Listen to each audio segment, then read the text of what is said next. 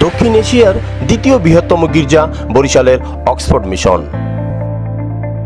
নগরীর বগুড়া রোডে Epiphany Oxford mission নামে এই ব্যাসিলিকা দুই সারি স্তম্ভ ও এক গম্বুজের উপর স্থাপিত।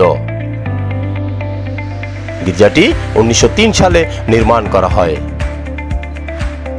লাল ইটের তৈরি এই গির্জা সিস্টার এডিথের স্কেচের আদলে মূল আকৃতি দেন ফাদার স্ট্রং। এর নির্মাণ কাজ শেষ হয় উনিশশো সাত সালে। ফ্রেডরিক ডগলাস এটি নির্মাণ করেছিলেন। আঠারোশো বিরানব্বই সালে তিনি প্রথম এই দেশে আসেন। ডগলাস ইংল্যান্ড অক্সফোর্ডের ক্রাইস্ট চার্চে শিক্ষা লাভ করেন। উনিশশো এক সালে বরিশালে এবং উনিশশো আট সালে পশ্চিমবঙ্গের বেহালায় ট্রাম টার্মিনালের দক্ষিণ পার্শ্বে তিনি হোস্টেল প্রতিষ্ঠা করেন। তারই তত্ত্বাবধানে নির্মাণ করা হয় এই এপিফানি গির্জা। উনিশশো চার সালের উনিশে মার্চ ক্ষেত্রমণি দত্তের দেওয়া পঁচিশ হাজার টাকা ও বিদেশি বন্ধুদের আর্থিক সহায়তায় বরিশালের এফিফানি গির্জার নির্মাণ কাজ শুরু হয়। এই গির্জায় রয়েছে অসংখ্য করিডোর ও চল্লিশটি খিলান পথ। যা এর কাঠামোকে দিয়েছে বিশেষ ধীরতা যিশুর আশীর্বাদ জ্ঞাপন স্বরূপ মূল বেদির উপর একটি বিশাল আকৃতির ক্রুশ রয়েছে।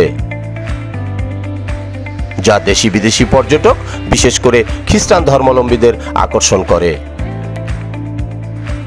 গ্রিক স্থাপত্য শৈলীতে তৈরি অক্সফোর্ড মিশন গির্জার ভিতরে আছে সুবিশাল প্রার্থনা কক্ষ।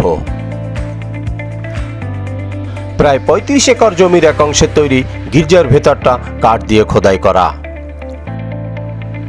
আর মেঝেতে নজর কারা মার্বেল পাথরের টাইলস খচিত। গির্জাটি একতলা হলেও কমপক্ষে পাঁচতলা ভবনের সমান উঁচু। দক্ষিণ এশিয়ার দ্বিতীয় বৃহত্তম একতলা উচ্চতায় এই বেসিলিকা এপিফানি গির্জাটি ঘিরে দশটি প্রতিষ্ঠান গড়ে উঠেছে। অক্সফোর্ড মিশন প্রাইমারি স্কুল ও অক্সফোর্ড মিশন হাই স্কুল নামে দুইটি শিক্ষা প্রতিষ্ঠান চারটি শিক্ষার্থী hostel maternity clinic brotherhood sisterhood social development mission পাড়া কোয়ার্টার কবরস্থান ও সেন্ট মেরিজ নামে প্রতিবন্ধী ও অনাথ আশ্রম রয়েছে। শুরু থেকেই ব্রিটিশ ফাদারদের গঠন করা একটি চ্যারিটির অনুদানে বরিশাল অক্সফোর্ড মিশন এবং ভারতের বেহালায় মিশনটি পরিচালিত হচ্ছে।